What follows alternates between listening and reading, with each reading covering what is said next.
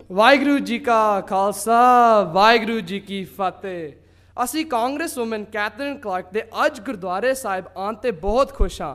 ਇਹ ਮੈਸੇਚਿਊਸੇਟਸ ਦੇ ਪੰਜਵੇਂ ਜ਼ਿਲ੍ਹੇ ਦੇ ਪ੍ਰਤੀਨਿਧ ਹਨ ਅਤੇ ਤਿੰਨ ਵੂਮਨ ਵਿੱਚੋਂ ਇੱਕ ਹਨ, ਜੋ ਕਾਂਗਰਸ ਵਿੱਚ ਸਾਡੀ ਸਟੇਟ ਮੈਸੇਚਿਊਸੇਟਸ ਦੀ ਨੁਮਾਇੰਦਗੀ ਕਰਦੇ ਹਨ।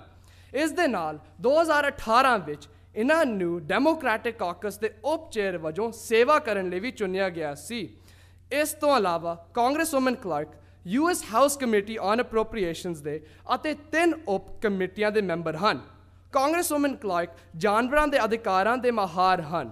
ਉਹਨਾਂ ਨੇ ਪੌਜ਼ ਐਕਟ ਨੂੰ ਪੇਸ਼ ਕੀਤਾ ਸੀ, ਜਿਸ ਦੁਆਰਾ ਘਰੇਲੂ ਬਦਸਲੂਕੀਆਂ ਦੇ ਸ਼ਿਕਾਰ ਲੋਕਾਂ ਤੇ ਉਹਨਾਂ ਦੇ ਪਾਲਤੂ ਜਾਨਵਰ ਨੂੰ ਲਾਭ ਮਿਲਦਾ ਹੈ। ਇਹਨਾਂ ਨੇ ਸਮਾਜ ਵਿੱਚ ਬੰਦੂਕਾਂ ਦੀ ਹਿੰਸਾ ਕਾਲਜ ਜਾਣਨ ਦੀ ਸਮਰੱਥਾ ਸਕੂਲਾਂ ਵਿੱਚ ਕਾਉਂਸਲਿੰਗ ਨਸ਼ੀਲੇ ਪਦਾਰਥਾਂ ਤੇ ਸਮਾਜ ਦੇ ਹੋਰ ਬਹੁਤ ਸਾਰੇ ਪ੍ਰਮੁੱਖ ਮੁੱਦਿਆਂ ਤੇ ਕਾਨੂੰਨੀ ਸਹਾਇਤਾ ਕੀਤੀ ਹੈ ਵਾਹਿਗੁਰੂ ਜੀ ਕਾ ਖਾਲਸਾ ਵਾਹਿਗੁਰੂ ਜੀ ਕੀ ਫਤਿਹ Thank you, Ranik and Priya, for that wonderful introduction. And thank you for having us here today. Um, it is a pleasure to be with you uh, to learn more about Sikhism And how we all act together as community. As always, it is a pleasure to be here with my colleague and friend, Congressman Joe Kennedy, and with all the other elected officials who are here with us today. Um, to be here in this beautiful Gurdwara, I hope I said that correctly, um, and for your warm welcome.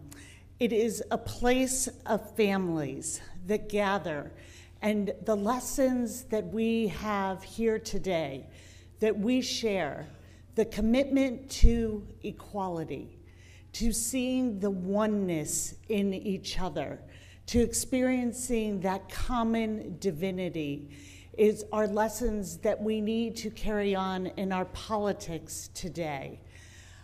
For example, as we look at immigration in this country, our immigrants uh, are something to celebrate.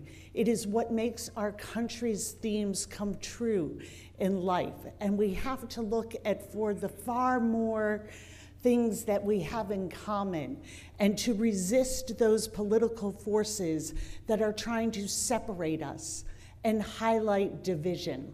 And it is part of what I think is so important about what is taught here in this congregation that we be in constant remembrance of the forces of the Creator, that we earn in a just manner with integrity and honesty, and that we remember that it is about sharing and giving back and being part of a community. Those are the lessons that we try to do in our work in Congress for our communities. One thing that Joe and I know very well is that any power that we have comes from all of you.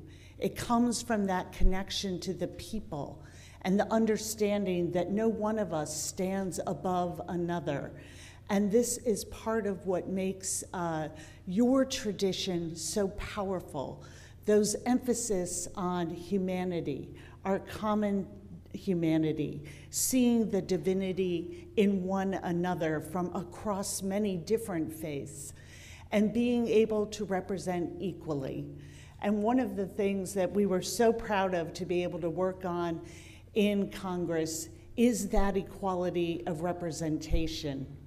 Right now, in the Democratic uh, uh, caucus, we are made up of over half of people of color. We have very many proud immigrants. We have the first two Muslim women serving in Congress. We have the first two Native American women serving in Congress. We believe that it is our representation that when our Congress looks like the beautiful mosaic that is this country, that when we tap and pull on the immigrant experience and see it as a source of power, that that is when we make laws that reflect the people of this country and all their differences are to be celebrated. And we are very proud to have the two first uh, black women represent Connecticut and Massachusetts, with Jahana Hayes and my sister in service, Ayanna Presley. That representation matters to all of us. Having the representation of different religious faiths, those different perspectives and experiences that we bring is what truly can highlight the connection of all of us.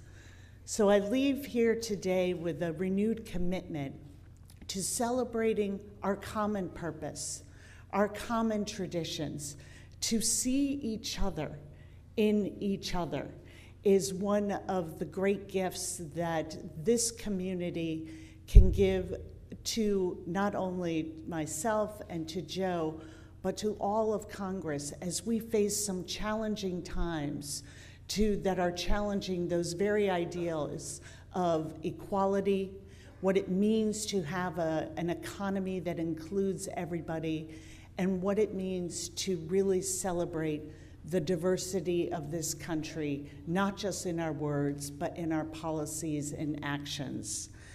So we know what a difference it makes to have diversity at the leadership table, and we know that you are a part of this.